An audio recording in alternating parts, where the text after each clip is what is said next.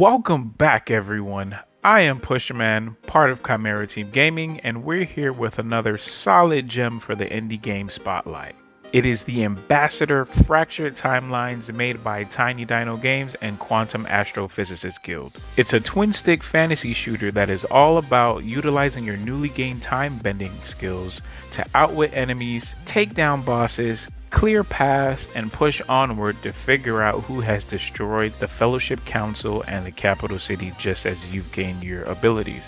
But before we get fully into it, hit that like button and subscribe for more indie game spotlight reviews.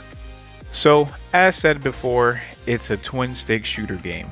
Now, that genre is pretty saturated with some heavy hitters in it, such as Enter the Gungeon, and even though the Ambassador doesn't really stack up to it, it does have its moments where it shines.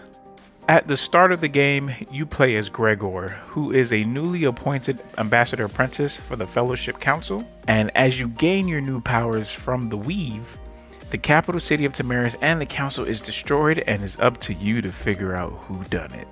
And I mean that's it. That's basically the main objective of the game you go out there and you and you visit three of the factions who all have quarrels with the fellowship council.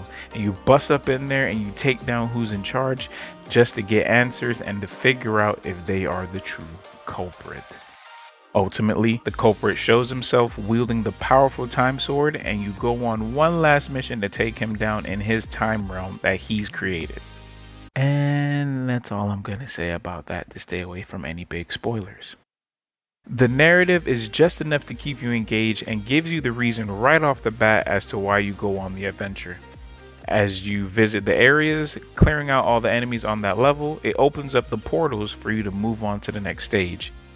Moving on to the gameplay, the main mechanic that makes this game pretty interesting is the time bending ability that's in it. You slow down time around you to be able to stop and dodge projectiles because you can see the trajectory of them you can see some enemies attack and stop them. You can stop bridges from crumbling underneath you, break objects, and more. As you progress on, the enemies possess new gimmicks that will require you to time bend to open them up for attacks, and so that way you'll be able to hit and defeat them.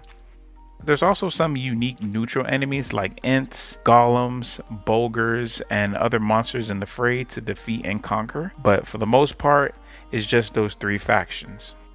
Alongside using time bending, you wield two weapons which are swords or mini Mjolnir, Mjolnir, Thor's mini hammer, Thor's hammer, yeah that. And you also use staves. You also gain new armor that possesses a variety of different effects. You hurl your swords in a boomerang fashion and they have various effects when you unlock them upon completing levels. What made the game very fun for me was really the time ability. The overall difficulty of the game is not very hard, and the real challenge is when you reach the boss stages. You're given three, four at max lives or hit points, so it takes some effort to dispose of the bosses because there are some puzzle mechanics to them. But for the most part, it's not that it's not that hard of a game to get through. You just have to get your timing down right. The time bending is a really neat feature, but I wish there was more done with it. You can only slow down time in a small area around you, and I really wish as you completed some of the areas, you were given the option to change how you manipulated time, or some of the armor's effects allowed the circle to be larger, or even be able to rewind time to reverse getting hit or potentially even even dying. That would be that would be something that that could have that could have really altered this game and made it and made the main draw of it become something a lot better. In the audio and visuals department, specifically the pixel art direction, I can enjoy it. I will say that some of the environments could have been a bit more diverse and the characters in the game, such as your mentor and other NPCs you encounter, could have looked better. The soundtrack in the central portal level and at the final level, I actually really enjoyed it. I found myself bopping my head a couple times to it.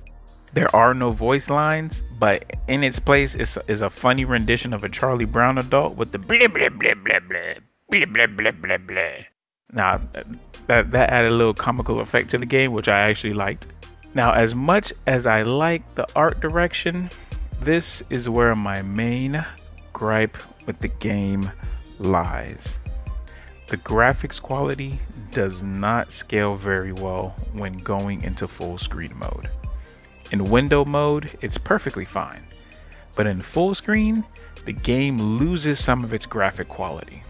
The text becomes hard to read, and the pixel graphic for some enemies and environments becomes so distorted and muddied to the point where I couldn't even tell if it was a grass or an enemy. It could be because it was not designed to scale and lack of resources since it is an indie studio, but I can only play in full screen for so long until I had to switch back into window mode because it just hurt my eyes. With all that being said, I think the Ambassador Fracture timelines can be worth your time if you're into pixel twin stick shooters. The narrative is there to give you something to follow. The gameplay isn't anything new to the twin stick genre, but the time bending ability makes this game pretty damn fun alongside the different combinations of swords you can sling and the staffs as gimmicks.